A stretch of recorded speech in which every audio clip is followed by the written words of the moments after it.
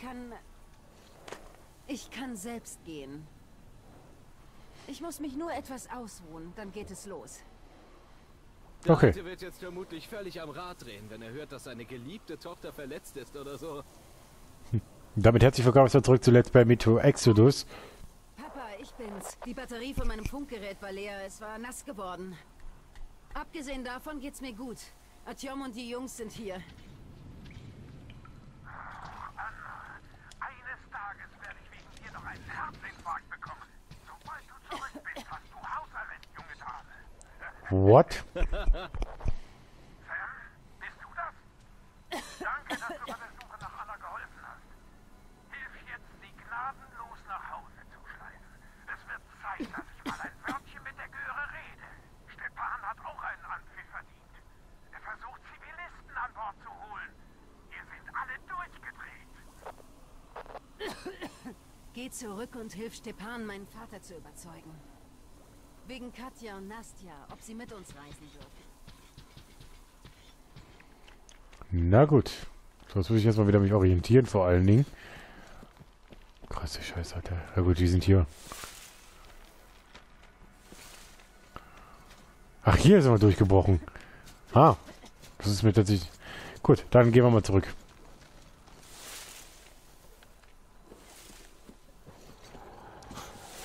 Oh, äh... Habe ich jetzt ehrlich gesagt keine zu.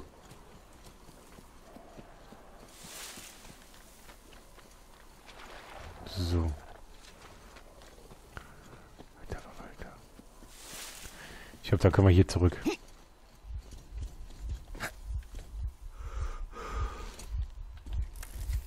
Das ist das Ladegerät für die Tasche. Okay.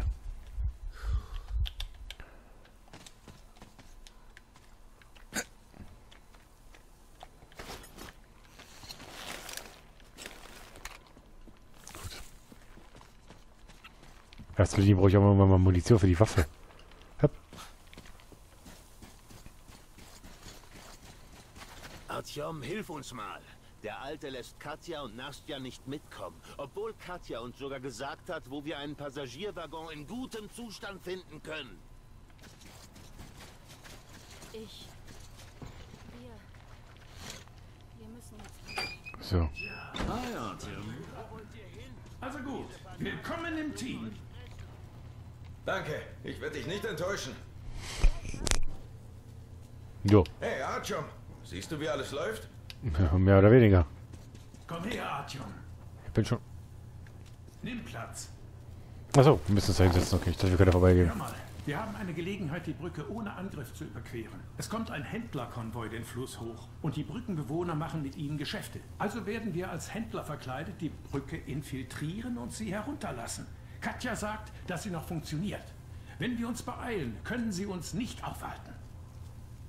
Sollten sie es versuchen, werden wir die Brücke trotzdem überqueren, egal was diese Fanatiker denken. Sie wollen Blut? Können sie haben. Also müssen wir jetzt nur noch auf das Händlerboot warten.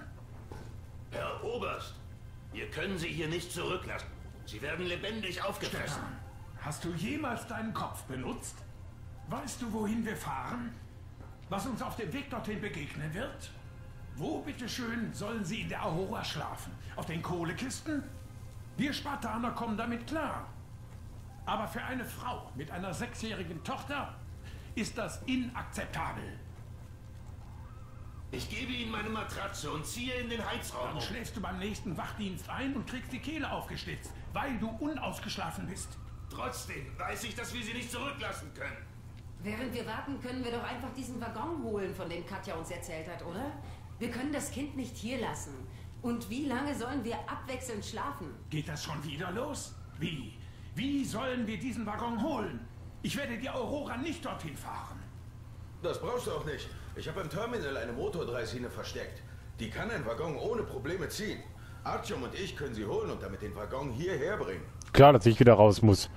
Ich lasse dich auf keinen Fall gehen. Zu zweit können wir die Reparaturen bis zum Morgen abschließen. Aber alleine schaffe ich das nicht. Okay, okay, dann macht es so. Ich will ja kein Unmensch sein. Wir holen diesen Waggon und wir nehmen die Zivilisten mit. Artyom, kümmerst du dich darum? Warum nicht? Zu, Artyom. Wenn der Konvoi in Sicht ist, lässt du alles liegen und eilst zum Hafen. Das ist unsere beste Gelegenheit, die Brücke zu überqueren. Danke, Papa. Katja und Nastja werden so dankbar sein. Hier, Artyom, das ist ein Trennschalter für die Motordreisine. Ohne den fährt sie nicht. Sie ist ein echtes Schätzchen, das steht fest wie das Amen in der Kirche. Sind zur Hölle und zurückgefahren, sie und ich. Wir haben so viele Sachen gezogen. Sie hat mich so oft aus dem Schlamassel geholt. Da du zum Terminal gehen wirst, hör mir gut zu, Artyom. Es ist ganz schön weit bis dorthin, aber wenn du nachts gehst, ist die Gefahr geringer, auf Banditen zu stoßen. Während es dunkel ist, bleiben sie in ihren Lagern. Aber es wird trotzdem nicht leicht, da dann mehr Tiere unterwegs sind. Und außerdem gibt es Elektroanomalien. Die Fanatiker nennen sie Dämonen der Elektrizität. Also solltest du deine Möglichkeiten abwägen, bevor du aufbrichst. Artyom. Duke ist in dieser Gegend im Einsatz. Er behält die Brücke im Auge. Der Empfang ist dort schlecht. Wir kriegen nur Rauschen von ihm. Wie auch immer. Wenn du ihn triffst, dann berichte ihm von der aktuellen Situation am Terminal. Ich wette, du hast dich mit Anna und Stepan verschworen. Hey, die beiden liegen mir ebenso am Herzen wie dir, aber wir wissen nicht, ob das, was vor uns liegt, besser ist als die Fanatiker. Tja, wir werden es wohl abwarten müssen. Und es war mir klar, dass ich wieder raus muss. Naja, dann machen wir das mal. Gut, wie du den Alten überzeugst. Anna. Ich brauche allerdings mal Munition. Haben wir einen Munitionsschrank oder so? Ich, ne? Weil mit drei Kugeln mache ich nicht viel. Mit Stauraum für all meine Werkzeuge. Ich hätte ja gern mal raus. Ich kein Munitions... Hier kannst du deine Waffen reinigen und Munition für sie herstellen. Wo? Genau wie an jeder anderen Werkbank, die du findest. Mein Waffenregal ist jedoch der Aurora. So, ich brauche Munition vor allen Dingen, ja, ja. Die Waffen, die du findest, bewahre ich Musterexemplare auf. Du kannst sie jederzeit auswechseln. Immer im Bestzustand. Geölt und glänzend wie neu. Dann musst du allerdings wieder alle Ergänzungen anbauen. Über kurz oder lang mache ich aus euch alle noch kompetente Waffenschmiede. Hör zu, ich habe etwas für dein Tier. Du kannst es an der Werkbank montieren. Ja, zumindest habe ich Munition jetzt. Ich möchte dich nicht länger aufhalten.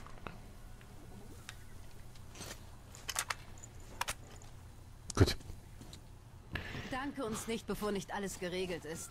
Es hängt jetzt alles von Artyom ab. Also wünsche ihm Glückwunsch. Ja, dann müssen wir mal los. Hm, Danke.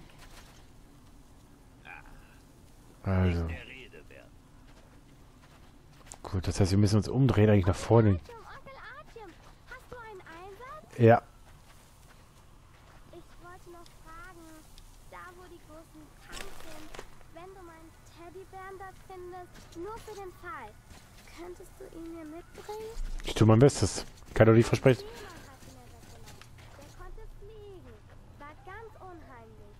Die leben da. Ja, das sind ja gute Nachrichten. Ich habe mich noch gar nicht richtig dafür bedankt, dass du mich aus diesem... Weißt du, ich hatte nicht einmal Angst, als ich stürzte. Weil ich wusste, dass du sowieso kommen und mich retten würdest. Danke, mein Liebling. Jetzt geh. Na gut, dann ciao. wieder und halte dich von Ach, wie gesagt, ich kann doch nicht versprechen. Er hat dort in einem Waggon bei der Brücke einen Beobachtungsposten eingerichtet. Bitte ihn um einen Lagebericht. Ja, das weiß ich. Warte mal, ich gucke gerade, weil ich... Eine Sache noch. Dieser Turm zur Rechten. Äh, links.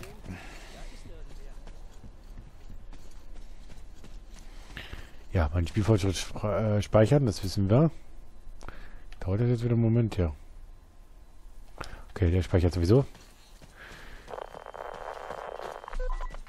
Hi, Artyom. Nein. Eine Sache noch. Aus diesem Turm habe ich eine Gitarre gehört. Sie hat einen schönen Klang. Aber der Spieler, einfach grauenhaft. Ich weiß, das ist gefährlich und so, aber falls sich die Gelegenheit bietet, dann rette das Instrument. Hey, was benutzt ihr unsere Hauptfrequenz für solchen Tratsch?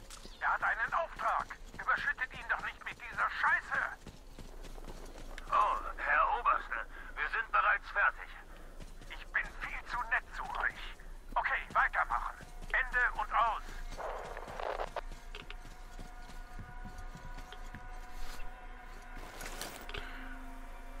Dann also da weiter.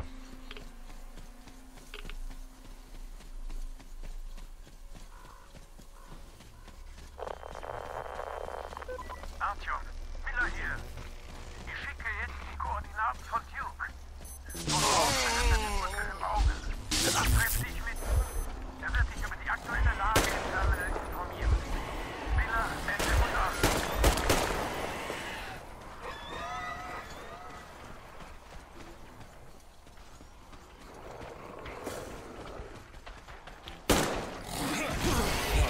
Ach du, hau ab! Oh, ja, warum immer so hässliche Viecher? Verpiss dich von mir!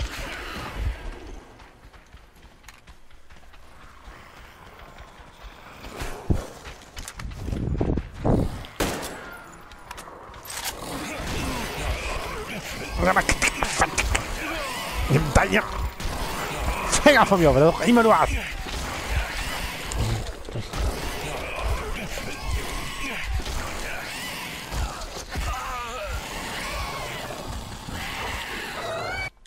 Äh, okay, das war nicht gut. Ah.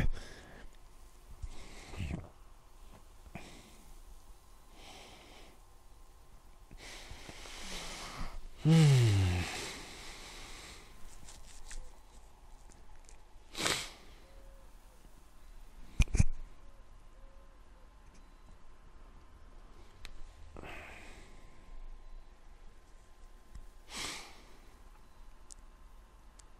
Jetzt dauert es wieder mit dem scheiß Laden oder was?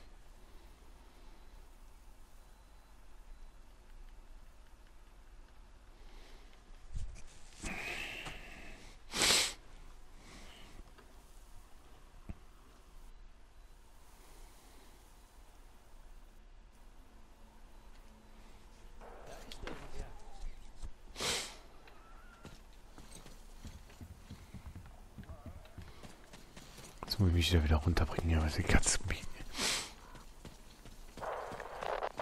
Hi, Artyom. Nee. Eine Sache noch. Aus diesem Turm habe ich eine Gitarre gehört. Sie hat einen schönen Klang. Aber der Spieler Ach so, weil ich nicht mehr, weil ich ja außer Atem bin oder so. ist gefährlich und so, aber falls sich die Gelegenheit bietet, dann rette das Instrument.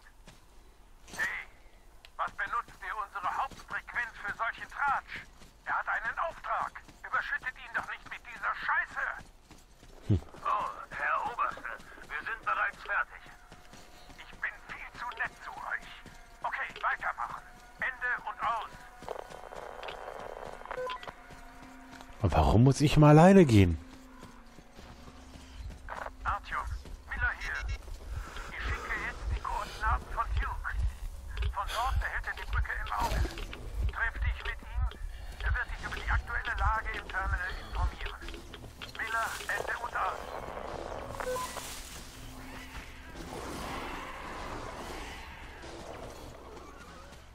Ich lasse die Viecher auch mal jetzt gerade in Ruhe. Vielleicht.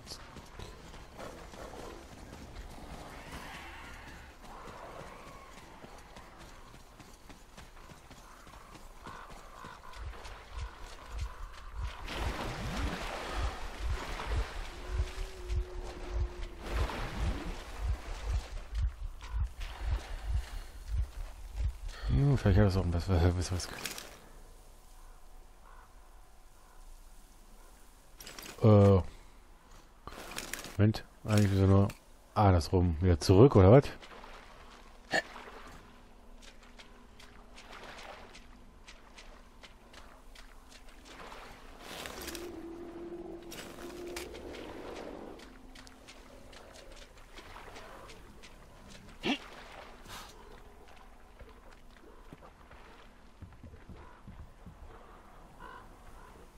Oh. Und der Shifter.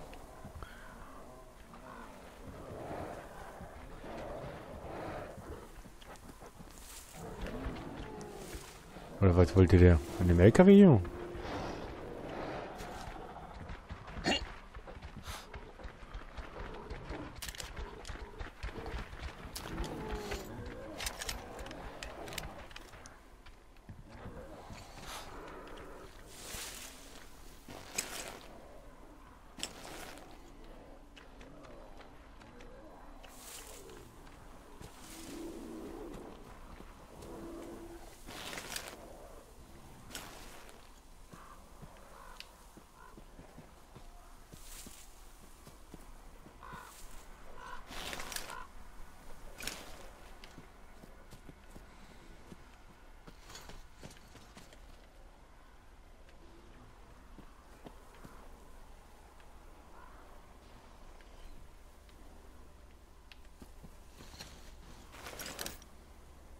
hier? glaube, wir müssen nicht da hoch, ne?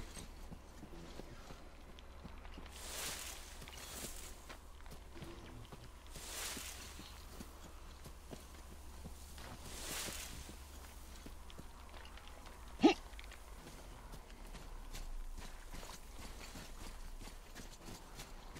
hab das blöde Gefühl, dass wir hier ran müssen.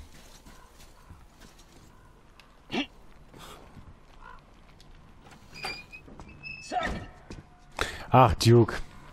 Stimmt, deswegen. Hallöchen, mein Blutsbruder. Servus. Hast mich nicht gesehen, hä? Die anderen auch nicht. Ich bin jetzt Teil der Landschaft. Ich habe gehört, dass du wegen einer Motordressine zum Terminal willst. Dann hör mal zu. Ins Terminal kommt man nur übers Wasser. Zum Glück gibt es nebenan eine Anlegestelle mit einem Boot. Wurde offenbar von den Fanatikern zurückgelassen. Drinnen sind nur diese Tier-Mensch-Mutanten, so scheint es. Okay. Siehst du diese Tankstelle? Sie ist ein Banditenversteck. Sie überfallen die Fanatiker. Diese Typen scheinen vom Terminal wie Fliegen von du weißt schon was angezogen zu werden. Die Banditen haben während meiner Wache drei von ihnen gefangen. Jetzt sieh dir dieses Gebäude da an. Dort halten die Banditen ihre Geiseln zur Lösegelderpressung gefangen. Die armen Kerle müssen richtig leiden. Ich habe den Oberst dreimal um Erlaubnis gebeten, da reinzugehen, aber keine Chance. Ich verstehe das ja auch, aber Normalbürger habe ich immer vor Schuften wie diesen beschützt. Daher ist es für mich schwierig, die Füße stillzuhalten. Naja.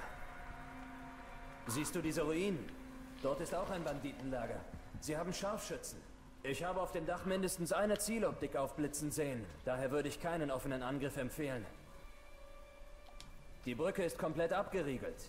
Die bewaffneten Leute dort zeigen sich nie. Sie rechnen definitiv mit einem Angriff von uns. Daher müssen wir uns im Moment um sie keine Gedanken machen. Okay. Hey, es ist deine Entscheidung, wann du aufbrichst. Aber im Dunkeln sollten die Banditen leichter zu meiden sein. Ich gehe auf jeden Fall auf meinen Posten zurück. Na gut. Gut, dann haben wir das auch so. Oh, steh mir doch nicht im Weg, Kollege. So. Okay, dann lassen wir das auch mal sein. Viel Erfolg. Dankeschön. Ach, das ist diese Elektroanomalie hier unten, ne? Dann lassen wir das auch sein.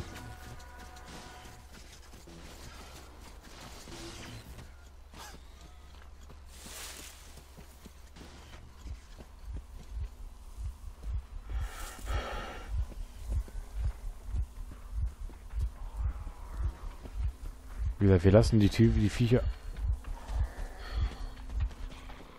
einfach mal leben. In Ruhe. Mal kann ich da zu Fuß rüber? Das wäre cool. Warte mal. Nee, wir müssen also anders laufen. Moment. Doch, eigentlich in die Richtung irgendwie. Ich vermute jetzt weiter hinten hin.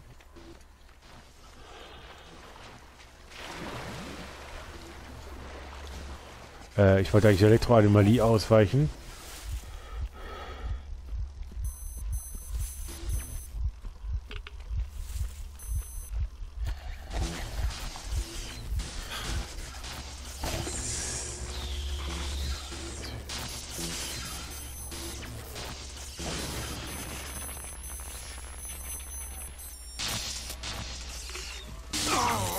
Da sollte man nicht dran, oder was?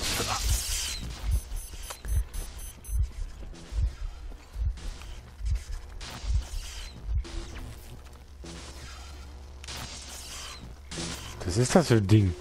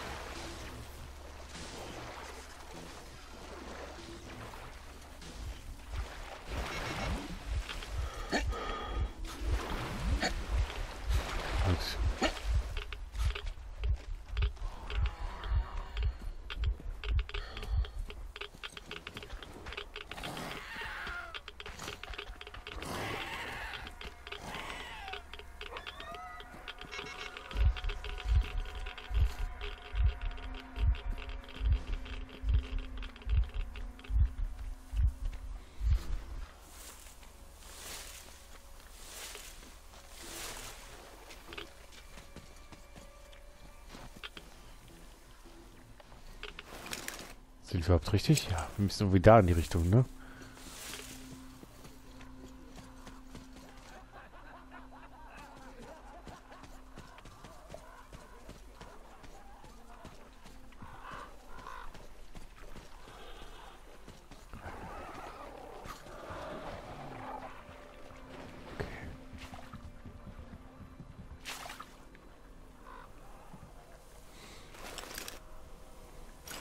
Ticken zu weit. Moment.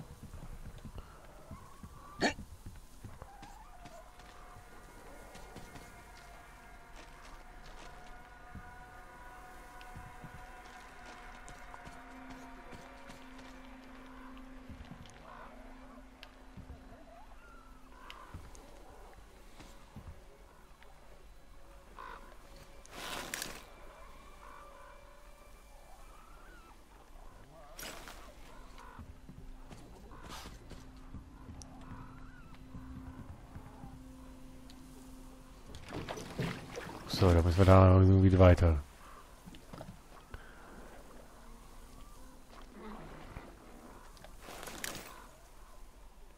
Ja.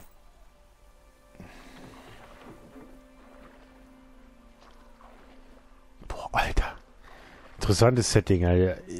Ich feiere das gerade aber so ein bisschen, aber es macht mir schon tatsächlich ein bisschen Angst. Alter, seht ihr das?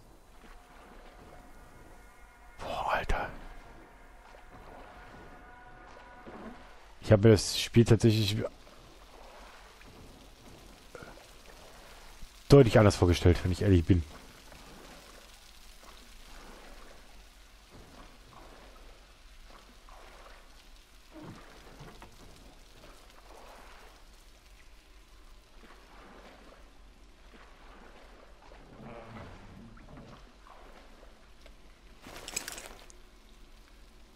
Tja, Das muss irgendwie rechts sein oder so, ne? Ja. Was müssen wir hier durch irgendwie? Moment. Oh, Alter.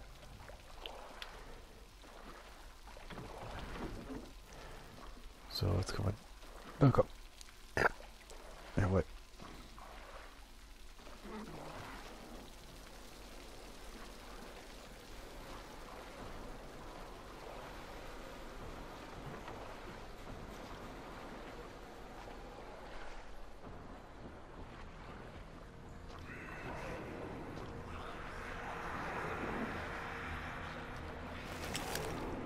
So.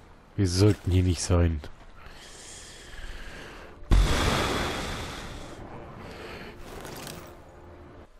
Na, die Frage ist, ob das hier wirklich gut ausgeht für uns und alles drum und dran oder ob wir hier tatsächlich unsere letzte Reise angehen. Das erfahren wir in der nächsten Folge bei Let's Play Metro Exodus.